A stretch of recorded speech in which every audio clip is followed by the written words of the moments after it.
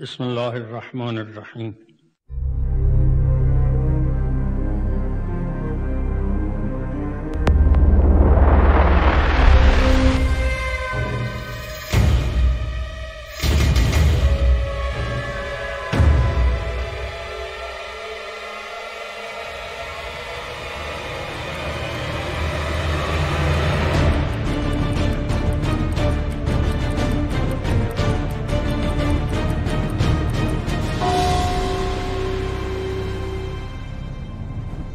قم در دوم فروردین سال 42 که مصادف بود با 25 شوال سال روز شهادت امام جعفر صادق علیه السلام چهره دیگر.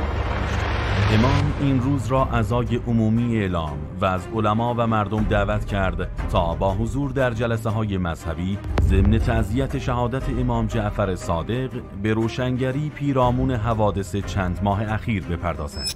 رژیم هم متقابلا سطح آمادگی خود را در جلوگیری از این جلسات و نهایتا سرکوب مردم بالا برده بود. در همین راستا ساواک طی بخشنامه دستور لازم جهت جلوگیری از برگزاری چنین جلساتی را صادر نمود که در پی آن سرلشکر پاکروان رئیس ساواک و مشاور عالی شاه و سرهنگ مولوی رئیس ساواک تهران با نیروهای تحت امرش برای سرکوب مردم عازم قم شدند.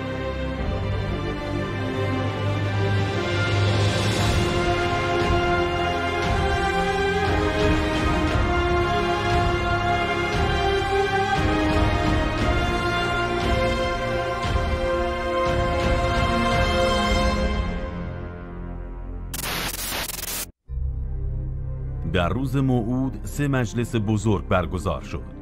مجلس اول صبح جمعه در منزل امام مجلس دوم به میزبانی آیت الله شریعت مداری در مدرسه حجتیه و مجلس سوم به دعوت آیت الله گلپایگانی بعد از ظهر در مدرسه فیزیه مدرسه فیزیه به عنوان مرکز قیام از حساسیت و اهمیت بیشتری برخوردار بود. نیروهای سرکوبگر ساواک به دو دسته تقسیم شدند. دسته ای علنی با لباس نظامی و دسته دوم با لباس مبدل با سلاح سرد و چما. تعداد زیادی با دوربین و سایر آلات روب و وحشت در بالای پشت بام فیزیه و عدهای در بین مردم آماده هجوم و برهم زدن مراسم بودند. حواست سخنرانی آقای انصاری بود. که دی شروع به فرستادن سلوات کردند و به سمت سخنران هجوم بردند سلوات ها تبدیل به شعار زنده شاه شد و همزمان با سوت سرهنگ مولوی رئیس ساواک تهران حمله شروع شد. صدها کماندو و مامور با سلاح گرم و سرد به جان مردم بی پناه افتادند. ده ها نفر راهی بیمارستان شدند ادهی در بیوت علما پناهنده شده و ادهی را هم دستگیر کردند در چشم به هم زدنی میدان آستانه به میدان جنگ تبدیل شد و شهر قم به صورت شهر جنگ زده در آمد بسیاری از طلاب از طبقه فوقانی به داخل رودخانه خشک قم پرتاب شدند کتابها، قرآنها، کتب ادعیه و هر آنچه در حجره ها میافتند را آتش زدند. اجساد بسیاری را در کامیون ریخته و با خود بردند تعدادی را زیر درختان پنهان ساختند و عدهای را در دریاچه حوز سلطان گم و گور کردند.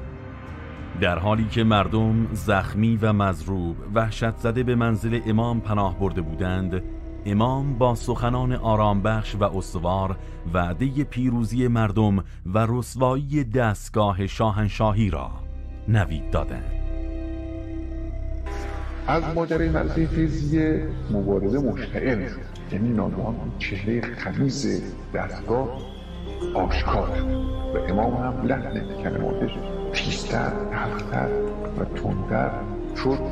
نه فقط ایشون رو نترسوند و عقب نزد بلکه خیلی بیشتر ایشون رو وادار کرد که مبارزه رو تند کنه.